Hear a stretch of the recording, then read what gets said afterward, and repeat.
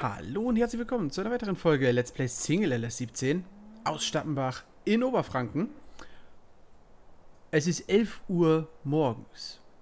Was haben wir den ganzen Tag, den ganzen Vormittag gemacht? Eigentlich wollten wir schon lange in der Grasernte sein, aber es hat in der letzten Nacht geregnet. Ihr habt das ja gestern gesehen. Bei der Kartoffelaussaat hat es ja schon fast angefangen. Hat dann auch in der Nacht geregnet, hat sich bis heute Morgen hingezogen. Und wir mussten bis jetzt warten, bis die Wiesen wieder einigermaßen trocken sind, dass wir die mähen können. Weil wir wollen ja Heu draus machen. Also bringt ja nichts, wenn die klitschnass sind, ne? Wisst ihr. Muss ich euch nicht erzählen. Und ich habe das, wir, wir haben natürlich die Zeit genutzt und haben hier Hofdienst gemacht, ne? Die Kühe mussten versorgt werden.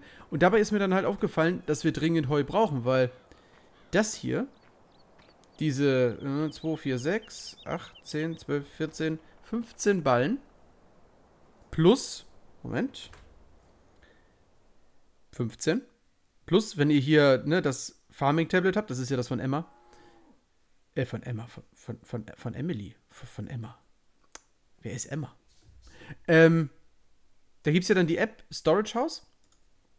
Und da könnt ihr ja, ne, Wolllager, Quaderballenlager, das ist ja neu bei uns jetzt, ne, das steht neben dem Rundballenlager, da wo die Quaderballen ja jetzt reinkommen. Ab jetzt gibt es ja nur noch Quaderballen. Und das Rundballenlager. Und da sehen wir, wir haben auch nur noch fünf Heuballen eingelagert. Stroh noch 47.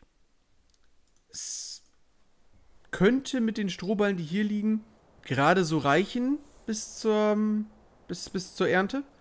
Aber die Heuballen halt nicht. Die reichen nicht. Und da werden wir jetzt neue machen. Wir haben noch ein paar beim Schafstall, glaube ich, stehen. Hm. Die bleiben da auch. Die Schafe haben eine Extraversorgung. Also, nicht eine Extraversorgung, aber ich habe jetzt auch oben, die Kühe brauchen Gras. Das ist ja drin. Ich gehe mal hier auf Escape. Gesundheit sind wir mittlerweile bei 21%.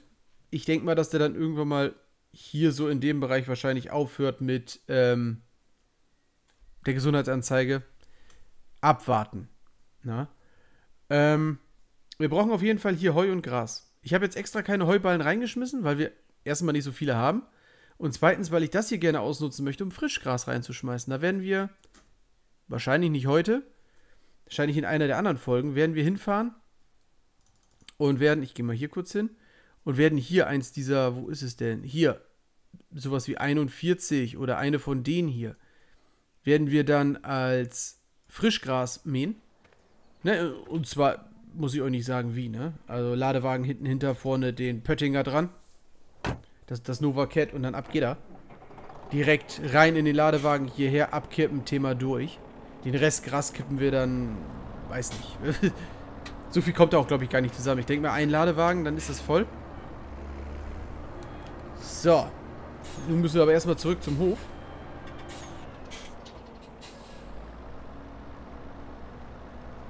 Hat er Silage hergebracht, deswegen fahren wir jetzt mit dem Deutz zurück. Den Deutz kann ich leider nicht vor die Mähkombi packen, die wir da jetzt haben, die wir von, von Dennis bekommen haben.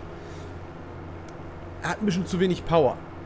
Na, der braucht, glaube ich, 160 PS äh, für das Butterfly und... Lass mich lügen, 100? Ah, nicht ganz 100. Ich glaube, ein bisschen weniger als 100 für das äh, Nova Cat vorne. Das wäre für den Deutz kein Problem, aber der kriegt halt das äh, Butterfly nicht in Gang. Beziehungsweise kommt er nicht vernünftig aus dem Tritt. Also gibt es zum Mähen natürlich die beste Kombi überhaupt, ne? Unseren schönen John Deere. Und ich werde anfangen, sowas wie hier, ne? Also siehst ja, das Gras ist hoch genug. Ja, so die Wiese. Wobei. Ich denke mal, ich, wir werden mit der hier anfangen. Mit der fangen wir an. Und gehen wir wahrscheinlich auf der Seite weiter. Und am 6., jetzt morgen, ne? Morgen soll es schon wieder regnen, aber wir müssen hier, siehst ja, hier haben wir noch Ölrettich drauf. Müssen wir unbedingt mit unserem Green Cut beigehen und müssen den mal ein bisschen schreddern. Kommen wir dann alles. So. Nun aber mal fix hier auf dem Hof. Ich habe vorhin schon in weiser Vorbereitung die Mähkombi kombiniert. Entschuldigung. Das kleine Wortspiel konnte ich mir jetzt nicht verkneifen. Ich werde den Deutz jetzt mitsamt dem Silage oder mitsamt dem, dem Glas schon mal hier drüben hinstellen, weil da muss nachher sowieso nochmal Silage rein. So, der kommt hier hin. Ja, ein Stück weiter vor, sonst so. Bleibst du mal hier stehen.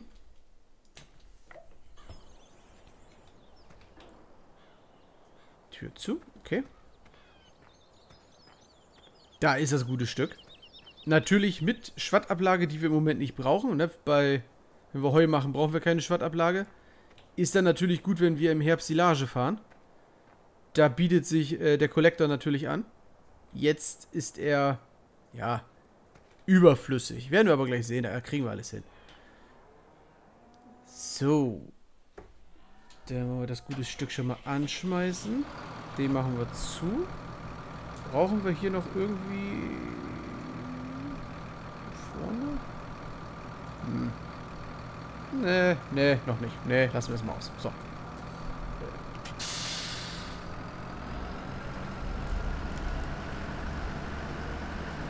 Der Weg zur Wiese ist ja zum Glück nicht weit. Sie ist ja direkt gegenüber.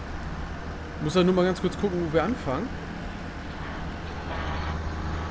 Ich glaube, wir fangen hier rechte Hand an. Wir fahren dann ein- oder zweimal rum, glaube ich.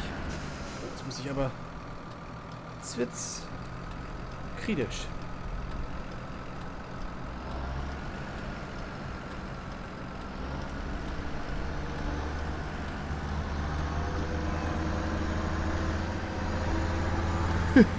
schön, wenn man ein Mähwerk vorne vorhat und da so ein Schuppen steht, ne?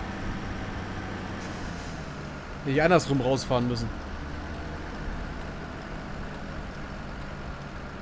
So. Hä? Was? Wie? Wo? Warum?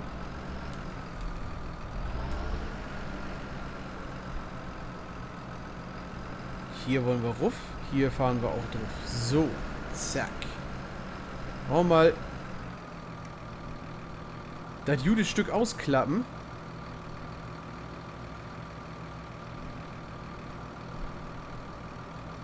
Perfekt.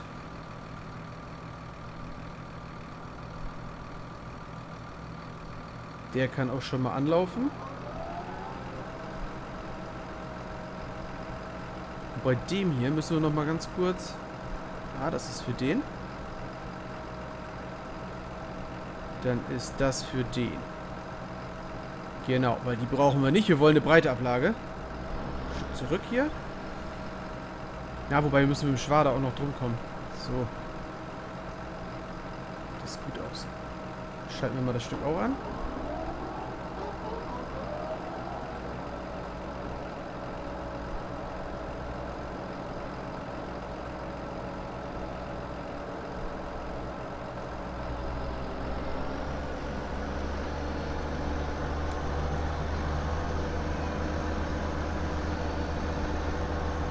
So sollte das eigentlich passen.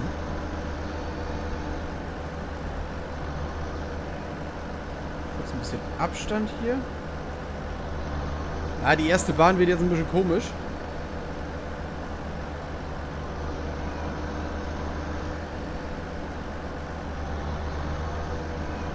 Müssen wir nachher mit dem Wender das Ganze vom Rand ein bisschen wegholen.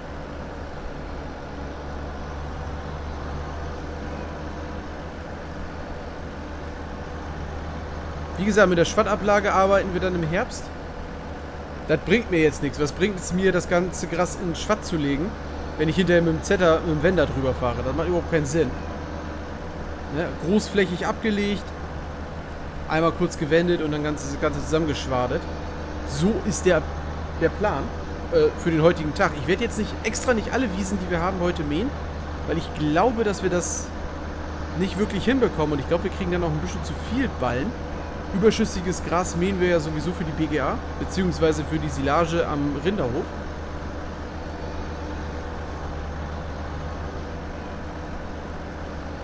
Also kriegen wir auf jeden Fall das Ganze später nochmal hin, dass wir... Na, das war jetzt nicht so schlau. Also kriegen wir das hin, dass wir dann später nochmal... Funktioniert das? Was wollte ich Ihnen jetzt sagen? Ach so, dass wir nochmal Gülle fahren können. Genau, das, das, das war... Das war der Satz, den ich sagen wollte, der mir nicht eingefallen ist. So, mal das Ganze mal außer Außenansicht.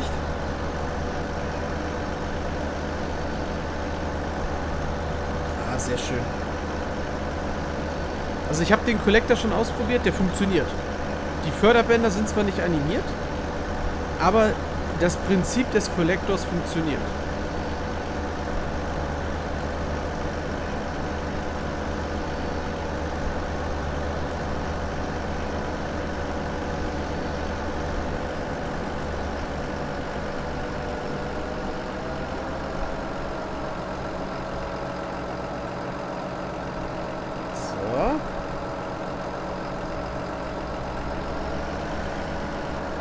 Da müssen wir auf jeden Fall mit dem, mit dem Wender nachher das ganze Gras von der Seite wegholen. Ist aber schon ein breites Gespann, ne? Das schafft was. Im Gegensatz zu dem alten Schwattmäher, den wir hatten. Hat gerade einer?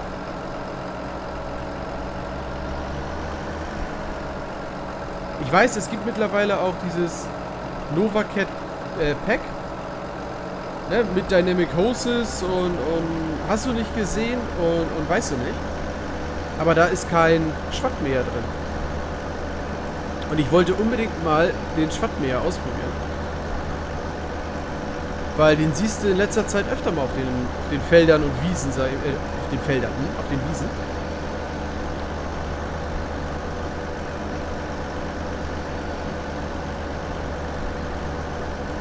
Außerdem, wenn Dennis den schon am Hof hat, dann nehmen wir den natürlich mit, ne?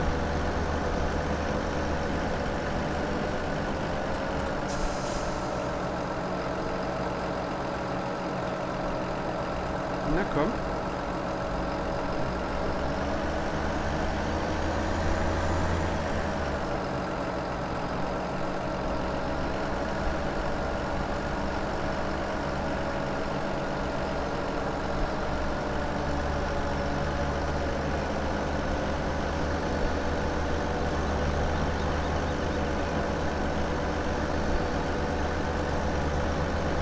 Der einzige, womit man hier noch hätte rüberfahren können, wäre dem Big M. Ein, einer hier im Nachbarort hat einen. Aber ich denke mal so, Big M technisch wäre dann tatsächlich was, wenn wir diese... Na, sag mal schnell, hier nebenan. Genau. Wenn wir da diese ganzen Flächen haben, da könnte man sich durchaus mal überlegen, den Big M vom Nachbarn zu leihen. Wenn wir dann tatsächlich da drüben diese komplette Bahn jemals in unserem Leben, weiß ich gar nicht, ob wir sie jemals haben werden, aber wenn, dann macht es Sinn, dass wir da den Big M uns besorgen. Mal ausleihen. Wobei das hier schon, das ist, ist eigentlich eine Arbeitsbreite, die reicht mir. Oh, oh, falsche Taste.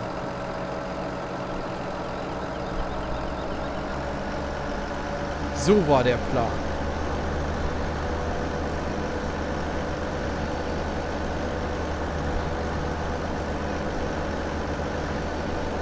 Hä, wir haben ja hier auch nur 39. Darf da hinten nicht vergessen.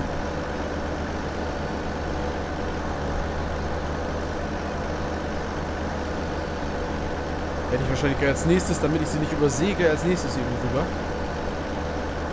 Ich weiß gar nicht, jetzt wo ich die Kollektoren hochgeklappt habe, kann ich das einfach zusammenklappen oder blockiert er?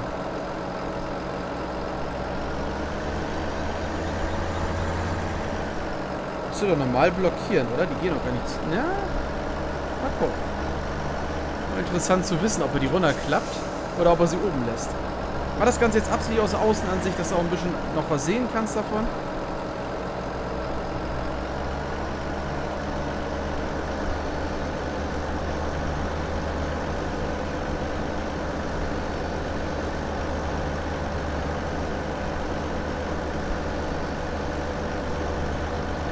Wir hätten jetzt auch mit dem Drescher rüberfahren können, hätten uns die Grassamen noch sichern können. Aber das, das ist meiner Meinung nach eine Sache, die man eher vor dem Herbst macht. Bevor ähm, wir daraus Silage ballen. Beziehungsweise nicht Silage ballen, bevor wir daraus Silage machen.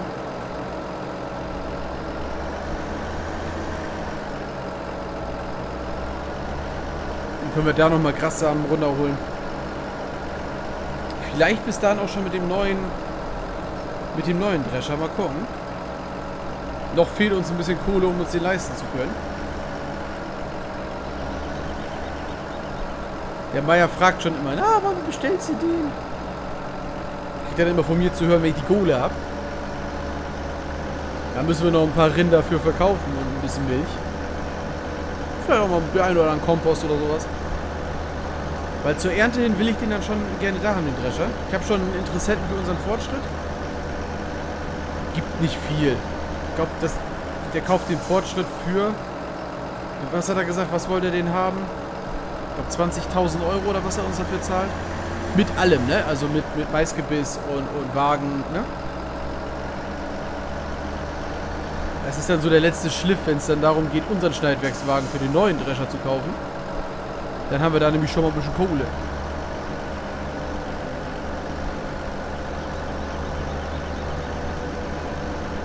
So, haben wir doch schon mal hier Wiese 1 fertig gleich.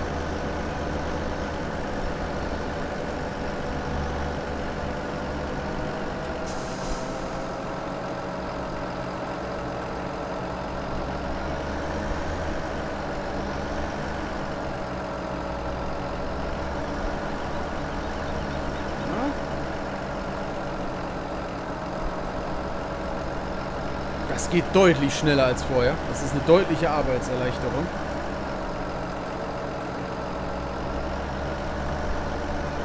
Können wir schon mal hinten das Große ausstellen.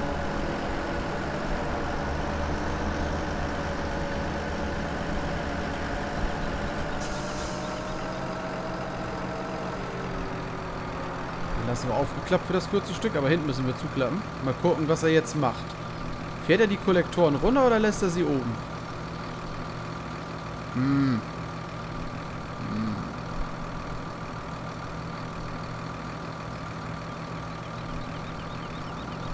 Schade. Die hätten eigentlich so eine kleine Collie gebraucht, dass sie nicht... Dass sie nicht äh, so zusammengehen, sondern dass sie sich runterklappen. Egal. Ist ja noch eine Beta, ne? Also, es gibt das Nova Pack zwar so, wie es ist, aber es ist ja offiziell noch eine Beta. Also von daher...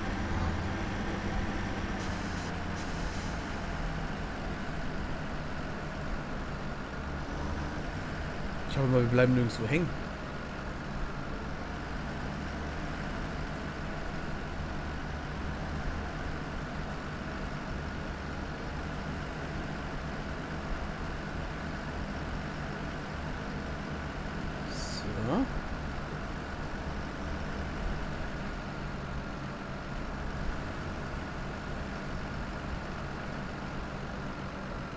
Müssen wir auf jeden Fall erstmal ruf. Das nützt nichts. So. Zack.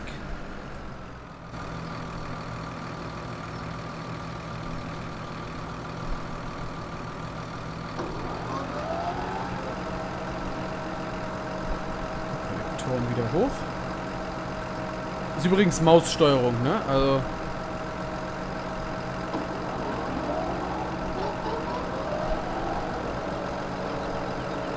Was macht ihr mit der Maus rauf und runter?